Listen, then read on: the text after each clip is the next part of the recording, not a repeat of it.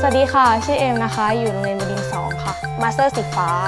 กิจกรรมเมื่อสักครู่ก็ชื่อว่า The Clock Smith นะคะ เขาก็ให้ทำนาฬิกาแล้วก็ไป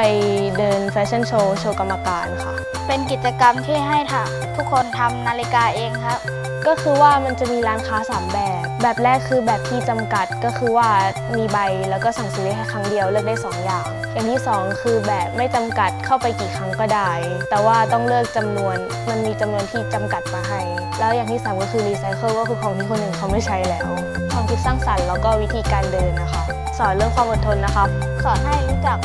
การรอคอยครับ ถ้าตั้งใจรอคอยเราจะได้สิ่งที่ดีครับ แต่ถ้าเมื่อไหร่ก็ตามที่เราเห็น ออกไปดีกว่า ก็จะมีแต่คนมาต่อสุดท้ายเราก็ไม่ได้อะไรเลยครับ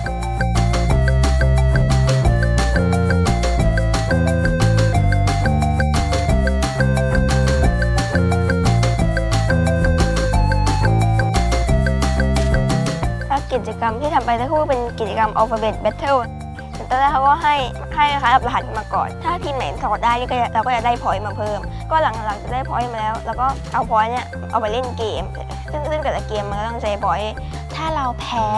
เราก็จะเสียชิปไป แต่ถ้าเราชนะเราจะได้ชิปมาเพิ่มนะคะพอได้ชิปมาเพิ่มเนี่ย10ชิปเนี่ยเราจะสามารถเอาไปแลกกับตัวอักษรได้ 1 ตัวอักษร เพื่อที่จะนำมาใช้ในการต่อให้มันกลายเป็นคำศัพท์ค่ะ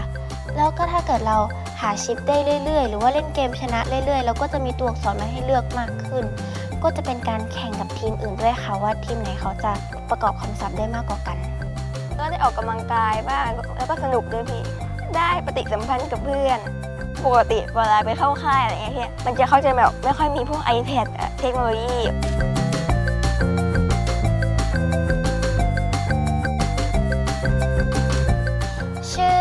วรการสนธิชัยค่ะ ชื่อเล่นชื่อการ์ตูนค่ะ กิจกรรมที่ทำไปเมื่อสักครู่ก็จะเป็น Cubic Arena 2 ค่ะ ก็จะเป็นแบบว่าเราก็ไปโจมตีฐานอื่น แล้วก็ต้องแข่งกันถ้าเราชนะเราก็จะได้เข้ายึดฐานนั้นค่ะพอยึดได้แล้วก็จะมีกลุ่มอื่นเขาอาจจะมาโจมตีเราเราก็ต้องป้องกันฐานเอาไว้ให้ได้ มีหน้าที่ก็ไปยึดฐาน แล้วก็ บางทีก็คอยเวลาเห็นเพื่อนเขาเฮ้ยคนนี้โดนบุกรุกแล้วนะ ก็ไปตามคนมาช่วยสกิจกรรมที่ผ่านมา ก็ทำให้เรารู้สึกว่าเราได้ทักษะในการวางแผน ในการแบบการแข่งเกมกระดานใช่ไหมคะเราจะต้องวางแผนว่าเราควรจะวางการ์ดอันไหนก่อนวางการ์ดอันไหนหลัง แล้วก็ต้องพิจารณาด้วยว่าเขาจะต้องวางอะไรแล้วเราถึงจะชนะเขาได้